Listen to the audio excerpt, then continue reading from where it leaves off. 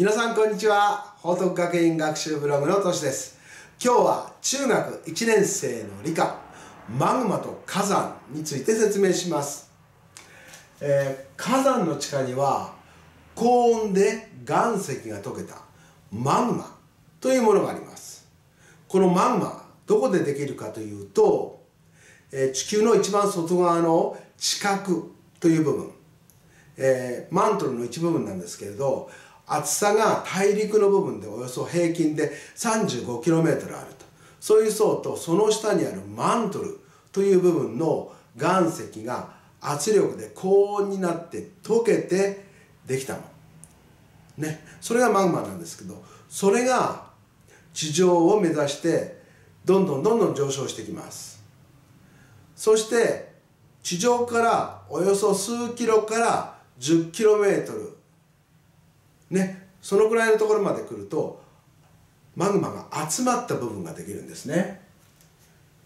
ここの部分がそうですね。このマグマが集まった部分これをマグマだまりというんですけれど火山の下には必ずこのマグマだまりができています。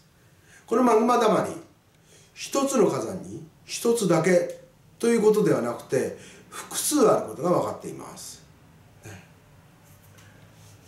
そしてこのマグマ止まりに集まったマグマがさらに上昇して地上に吹き出すこと。これを噴火と言います。この噴火でできた山を火山といって地表に流れ出したマグマのこと。これを溶岩と呼びます。この溶岩は流れている液体の状態、えー、またはこのマグマが固まったものどちらも溶岩というので、えー、この2つ覚えておいてください。ここでいう火山ですけれど世界には活火山と言われるもの。これおよそ800あります。活火山というのはここ1万年くらいの間に噴火したという証拠が残っているもの。または噴火した証拠はないけれど噴気活動といって地上から水蒸気や火山ガスを吹き出していてねいつ噴火してもおかしくない状態のもの。そしてもちろん現在噴火しているもの。これをまとめて活火山と言います。この活火山世界に800では日本にはどのくらいあるかというと実は約110もあるんですね。世界で800しかないのに日本には110もある。ですから日本はとても火山が多い、ね、火山でできた国。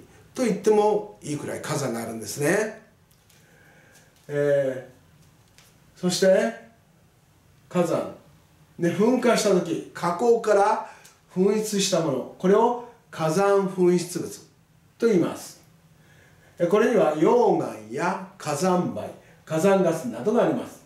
火山ガスの主な成分はほとんど水蒸気なんですね。これも覚えておきましょう。で火山の色や形。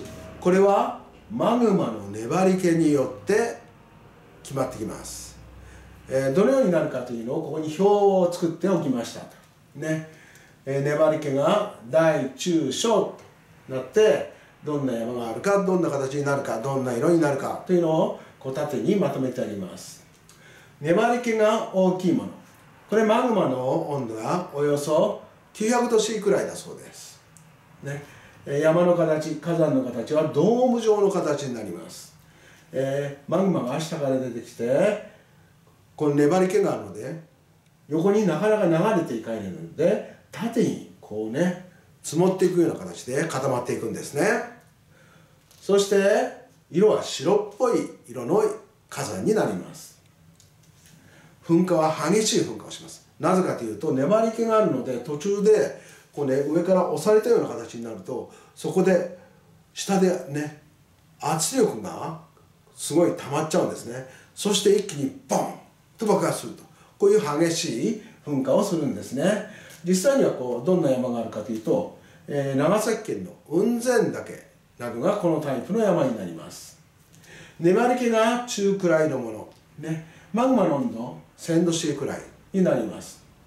で山の形は円錐状の形になります。マグマが噴き出して少しずつ流れていってここう山の形円錐状になっていくわけですね。色は灰色っぽい色の山になります。噴火はねこの粘り気の第1章の中間くらいなのでちょっとね書いてありません。実際にどんな山があるかというと鹿児島県の桜島がこのタイプの山になります。そして粘り気が小さいもの。ね。これはマグマの温度1200度、えー、このくらいだそうです。でマグマは下から出てくると粘り気が小さいので。粘り気が弱いので横にどんどんどんどん流れていってね。縦に高くならないんですね。ですから緩やかな斜面の形。こんな山になります。で色は黒っぽい色の山になって噴火は穏やか。どんな山があるかというとハワイのマウナロアがこのタイプの山になります。ねよろしいでしょうか、えここで赤線の引いてあるこの言葉。そしてここの表をしっかり覚えておくときっとテストできるかもしれませんよ。